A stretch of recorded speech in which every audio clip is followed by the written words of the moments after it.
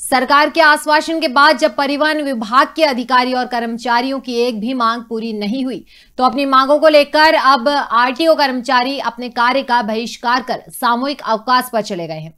प्रदेश भर के आरटीओ कर्मचारियों में कामकाज ठप है। सिंगरौली में मध्य प्रदेश परिवहन अधिकारी संगठन के तत्वाधान और संगठन के प्रदेश अध्यक्ष जितेंद्र सिंह रघुवंशी के आह्वान पर सिंगरौली सहित पूरे प्रदेश के परिवहन विभाग के अधिकारी एवं कर्मचारी हड़ताल पर रहे। इस संबंध में सिंगरौली परिवहन अधिकारी विक्रम सिंह राठौर ने बताया कि क्षेत्रीय अधिकारियों के ग्रेड पे में वृद्धि करने, क्रमोन्नत व्यवस्था लागू करने, दूसरे विभाग से प्रतिनियुक्ति बंद करने व परिवहन उप निरीक्षक के लिए विभागीय परीक्षा का आयोजन किए जाने का ज्ञापन गत तीन जून को प्रदेश सरकार को सौंपा गया था। लेकिन मांगे पूर्ण न होने का केवल आश्वासन मिला।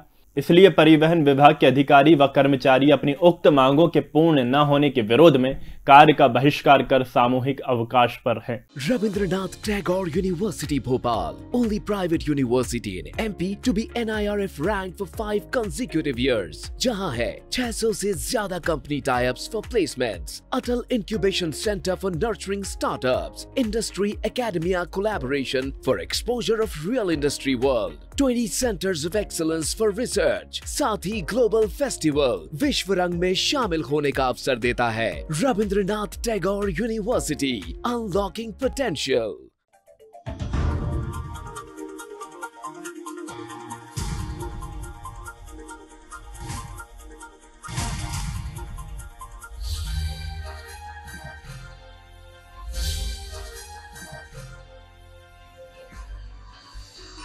आप देख रहे हैं Daka News.